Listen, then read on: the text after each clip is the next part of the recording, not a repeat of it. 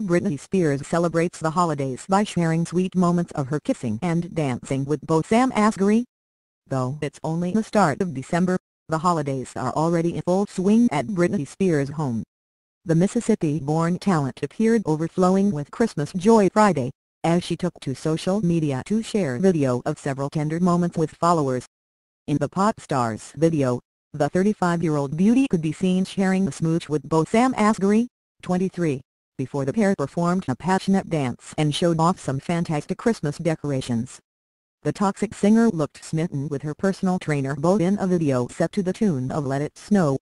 Britney, who is a mother of two, captioned the video with two Christmas trees, a gift box, and a high heel emoji.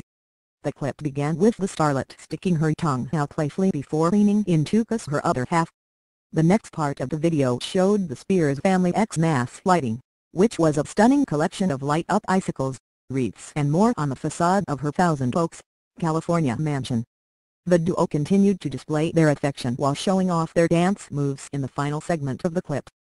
The Piece of Me singer looks marvelous in a cap-sleeve black dress which hugged her thin middle and showcased her fantastic stems. She let her long blonde tresses flow down her back in a glam ponytail. Sam couldn't wipe the ear-to-ear -ear grin from his face as he spun the Grammy winner around and leaned her over into a dramatic dip. Despite their 12-year age difference, Britney and Sam seem to be a match made in heaven.